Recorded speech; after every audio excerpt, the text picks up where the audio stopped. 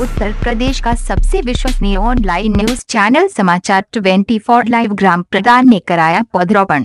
सिद्धार्थनगर जनपद के जोगिया विकास खंड के अंतर्गत ग्राम प्रधान पेंटरी खुर्द ने प्रदेश सरकार के साथ कदम से कदम मिलाकर काम कर रही है। पर्यावरण को बेहतर बनाने के लिए उत्तर प्रदेश सरकार ने ज़िले के सभी विकास खंडों में पौधरोपण करने का काम शुरू किया है, जिसमें विकास खंड जोगिया के ग्राम प्रधान अमरावती देवी ने अपने ग्राम सभा में 700 पौधे लगवाए, जो बहुत ही पुनीत कार्य किया। प्रधान प्रतिनिधि बिहारी लाल ने इसके पूर्व 2007 में प्रधान रह चुके। इनके द्वारा अपने निजी खर्चा से 500 पौधे लगवाए थे। आज 7 अगस्त 2018 को बिहारी लाल ने सरकार की योजनाओं से 700 पौधे लगवाए, जो कि ग्राम सभा की ज़मीन में विद्यालय प्रांगण में चुकी। इस ग्राम सभा में दो प्राथमिक विद्यालय आते हैं। दोनों विद्यालय के प्रांगण में पौधरोपण कराया गया है। प्राथमिक विद्यालय अमरवट या प्राथमिक विद्यालय पेंडारी खुर्द में पौधरोपण हुआ। विद्यालय परिवार व ग्राम रोज़गार सेवकाओं के लोग पूरी सहयोग करते नज़र आए। प्राथमिक विद्यालय मरवटिया सहायक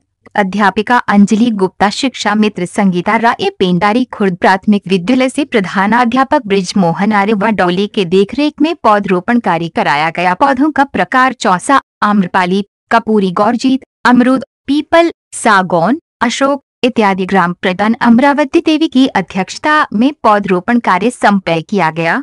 सिद्धार्थ नगर से रविन्द्र कश्यप की रिपोर्ट।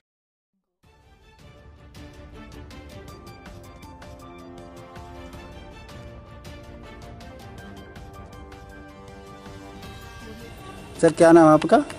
मेरा नाम बिहारी लाल पासवान है। जी कौन सा ब्लॉक है गाँव जोगिया ब्लॉक है। कौन सा ग्राम पंचायत? ग्राम पंचायत पिड़ारी खुर्द। सर आपके द्वारा आज कुछ पौधरोपण कराए गए हैं। उसमें कितने पौधे लगाए हैं और कितना विद्यालय परिवार को मिला है और ग्राम पंचायत में कहाँ कहाँ लगा उसके बारे में थोड़ा बताना चाहें। हमने 900 पौधे क्रय किया है और वो पंचायत भवन पे प्राइमरी पाठशाला पिड़ारी खुर्द में जी। और ये आपका प्राथमिक विद्यालय मरवटिया में।